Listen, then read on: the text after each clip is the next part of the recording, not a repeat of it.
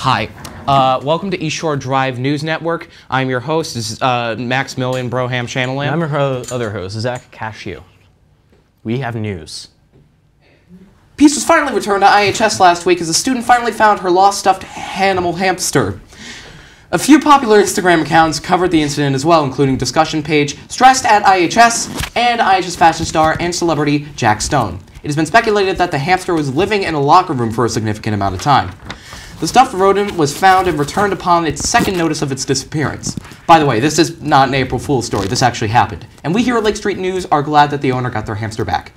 I, for one, believe that it is an example of passion and love for material possessions of importance, no matter how big or small.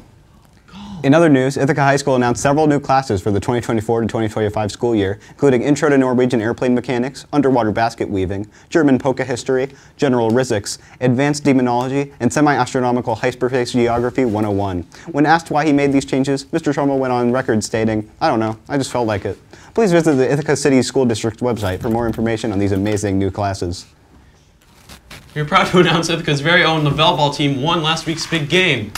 While seeming, while the game seemingly started with a flamp when Caroline Elementary's team managed to catch the handle in four seconds, we were able to run the bases and score a field goal without being tagged by the tag man in the fifth quarter. Combined with Caroline and LACS fighting over which school is better and ignoring the game, the you're able to get 15 points before the Ominously end of the right there in game. the. Please wear the outfit if possible. Make the outfit have reverb tomorrow to celebrate. Go Little Red!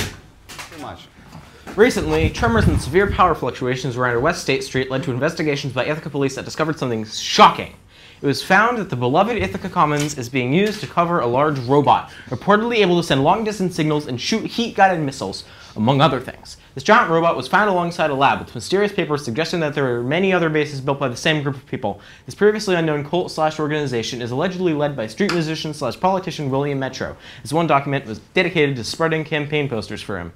More news on this next week, such as a relation to the decline of the Ithaca Mall. This just in, it has been rumored by IHS's very own whistleblowing club that the building, known as Upstairs K, which has now been confirmed as the location of the Esperanto and other obscure languages wing, has recently been finished. We've also uncovered the mystery of why the IHS admin team is so gosh darn freaking weird.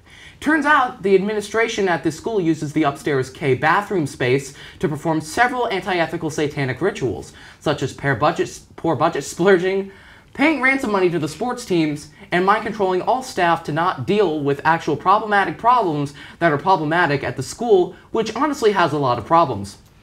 We here at LSN are declaring war on the admin team for their practices in Upstairs K, and will soon be using what little money we have to send a SWAT team over to deal with the situation accordingly. There we go. In other news, D building disappeared last weekend. Ithaca police are still investigating, but they suspect a local man, Jonathan Johnny Boy Chanier, a local man who they suspect used a forklift and a lot of Elmer's crazy glue. When asked about the situation, local police chief Thomas Kelly said, I don't know, lol. Anyways, here's some interviews from totally real IHS students about how they feel about the sudden disappearance.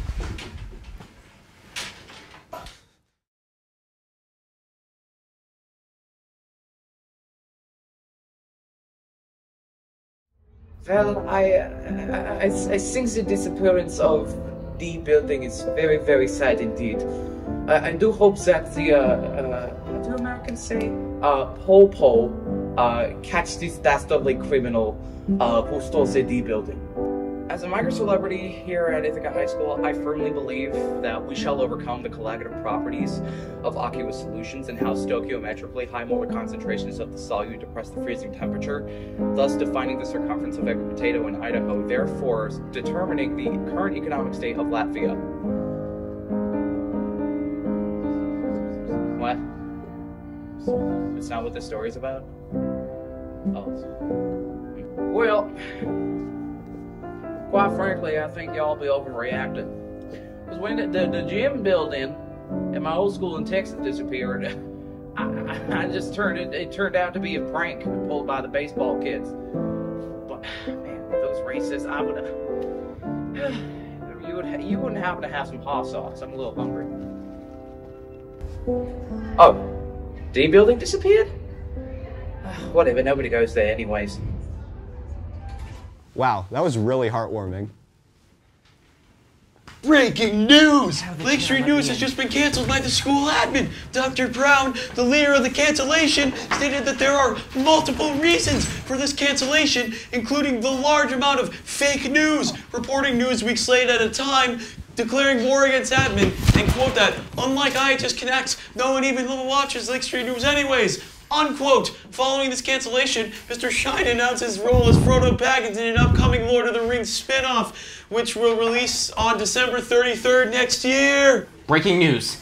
As we speak, it seems that Miss Hardesty is very unhappy with the IHS Whistleblowing Club's revealing of the rituals in Upstairs K, and she has revealed her final boss form as a half robot, half lizard, half human cyborg.